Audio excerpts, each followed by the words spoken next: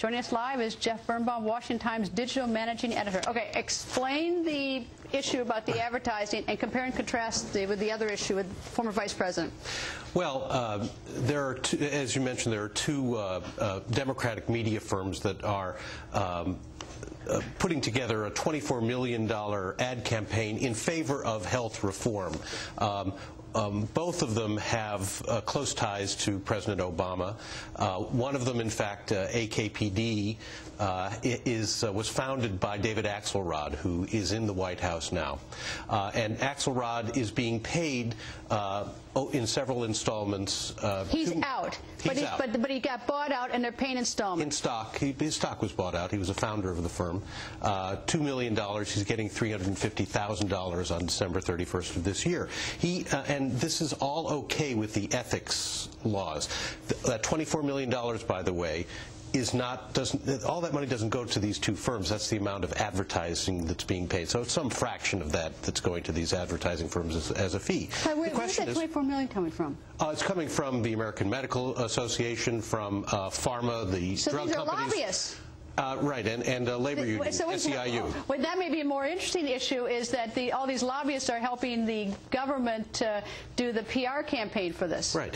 So the, that might be the more interesting issue, but go ahead. Well, the, the, and critics look at this and say, is this too cozy? Is Axelrod benefiting somehow uh, because allies of the president are uh, paying his old firm and he's being paid in installments? Uh, ethics experts say that this is okay. This is this is blessed by them.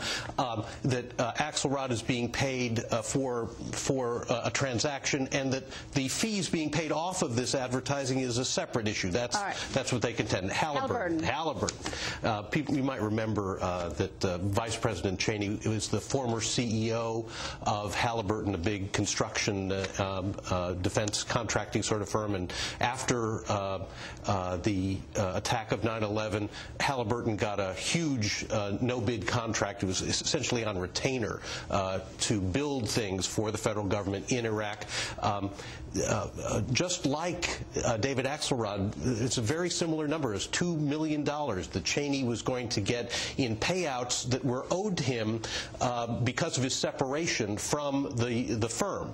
And, and, and just like Axelrod, Cheney said that there was no connection between any of the federal money that was going to Halliburton for construction in Iraq and the pay, payments, mostly deferred compensation, that was due him from Halliburton. So, so while it looks very cozy and people in America might not like it, there's no ethics problem. There's there's no ethics problem. It's just a. I, though I, do, I wish we had more time. The whole idea of all these uh, lobbyists paying this money, this 24 million, I actually think that's the, the more interesting to it. But we got plenty of time. We're here every night. Yeah. Anyway, so we'll talk about that sometime. Thank you, Jeff. Thank you.